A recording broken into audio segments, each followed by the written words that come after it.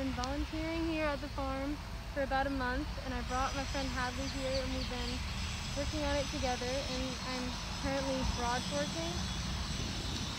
All right, let's see it. Let's see the technique.